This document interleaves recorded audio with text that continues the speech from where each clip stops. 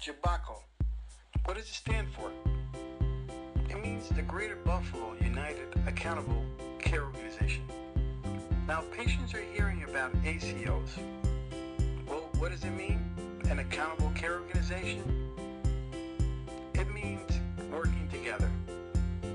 It also is transforming healthcare.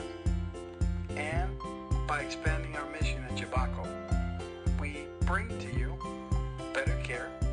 under triple aim, which means really better health for the patient.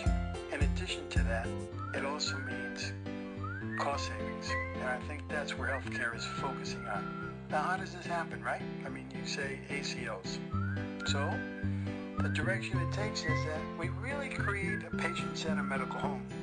And what that is, is really team-based approach to care. And I think patients benefit mostly from patient's care. And at the same time, care managers are involved.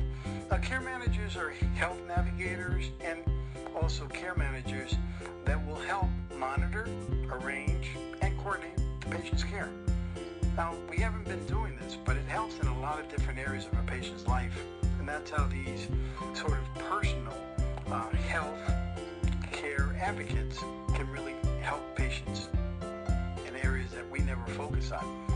Now, care transition, what does that mean? Well, it means that really, if for some reason you get injured, there's a team that will follow you through that whole transition. You'll be getting different services at the time. And so, these individuals will actually help and work as a team to really make sure patients are getting the care. And that's an ACO, that's an accountable care organization.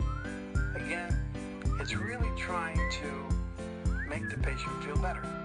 But then at one time, the patient may come up and say, well, this is a little curious. I mean, hmm, I don't know. You know, do I understand this? What does it truly mean? And I think what we do is, it's better care. And I think this triple aim for both patients and caregivers, not only will the better care lead to better health, but at the end of the day, we will actually be improving bottom line, which is lowering the cost of care. And triple aim becomes a crucial piece of what G1 does. So, again, we're here. Come see us at GBUACO.